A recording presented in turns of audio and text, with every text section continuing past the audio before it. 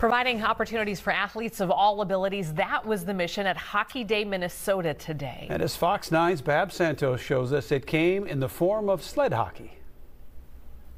It's a lot of fun, a beautiful day out here in Minnesota, yeah. On the final day of this year's Hockey Day Minnesota, White Bear Lake hosted what has to be some of the most loyal fans in the state because they endured another day of dangerously cold weather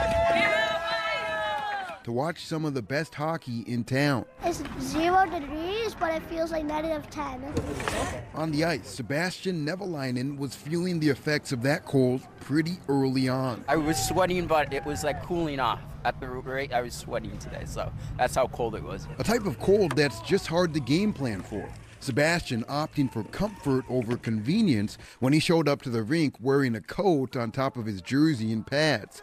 But even that effort came up short against Mother Nature. If I didn't keep moving, I would be like chilled to my bones. My left hand was like cramping. I was like, ah. Woodbury second grader Walker Ellis spent a lot of time on his wardrobe as well. I'm wearing four layers under this and three layers under this. And I have like these heaters so if I press really hard, they heat me up. There's one right here, here, and two in my pocket. Ultimately, this game was as much a face-off against the forecast as it was against one another.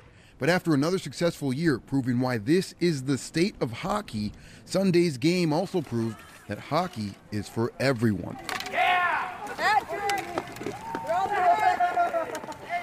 In White Bear Lake, Babs Santos, Fox 9.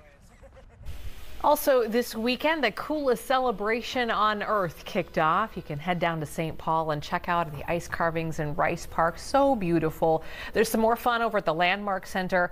And then if you head over to the State Fairgrounds in Falcon Heights, you'll find snow sculptures there at the Vulcan Snow Park as well. And you should know that this Thursday, Fox 9 will be live from St. Paul. I'll be there along with Kelsey, Ian, and Rob Olson.